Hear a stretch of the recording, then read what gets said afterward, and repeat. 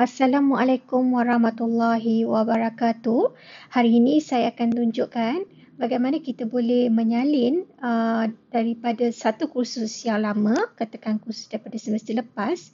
Okey, contoh di sini eh, saya ada template dan saya perlu salinkan ke uh, kursus baru di sebelah kanan saya ya testing 082020. Okey, so apa yang saya perlu buat adalah saya pergi ke kursus baru dahulu. Okey, the new course. So saya masuk ke dalam new course. Okey, so saya pergi ke bahagian atas sekali. Okey, kita lihat di sini ada tanda plus. Okey, klik pada tanda plus ni. Okey, and then kita pilih copy content. Baik, uh, kita perlu tahu kod subjek daripada semester lepas tu. Okay, so once kita dah ada kod tersebut, kita letakkan, kita klik F, S, katakan saya ingat tadi eh. Okay, so saya dah jumpa. So saya akan klik, okay, sebelah di sini, sebelah kanan, okay.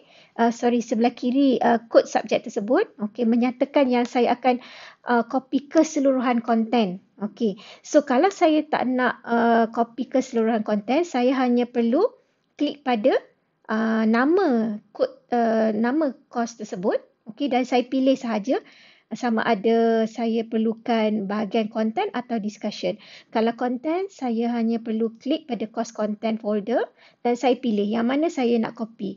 Okay, so kita boleh buat uh, by optional. Eh. Kita boleh uh, ambil certain-certain uh, bahan sahaja yang perlu disalin ke dalam kursus baru. So kalau kita tak nak salin satu course, kita perlu salinkan keseluruhan course tersebut. Okay, so saya pergi baliklah di sini. Saya klik di sini.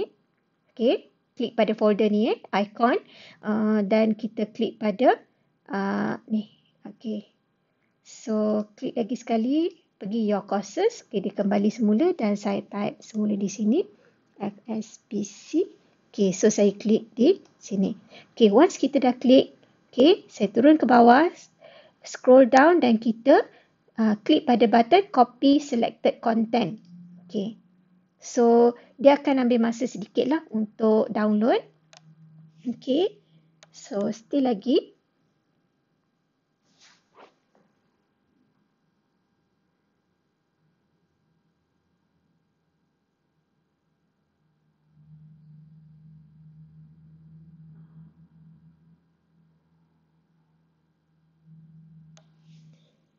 Okay. Tunggu. Still lagi copying content.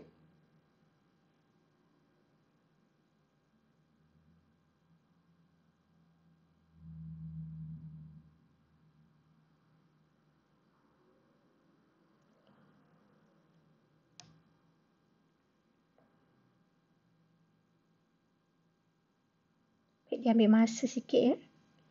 So kalau kita ada uh, konten kursus daripada semester lama tu besar. So dia akan ambil masa yang lama. Okey baik dah siap. So ada error di sini. Just ignore this error. Klik pada tanda pangkah ni. Okey dan you have both of this file lah. Dah masuk dah.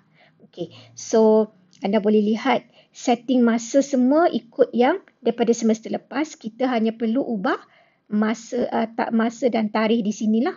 So boleh klik dan Okay, klik dan kita tukar tarikh dia ikut tarikh yang terkini. Ha, yang semester baru lah. Okay, tukarkan semua tarikh-tarikh dalam ni ya. Baik, uh, so itu sahaja.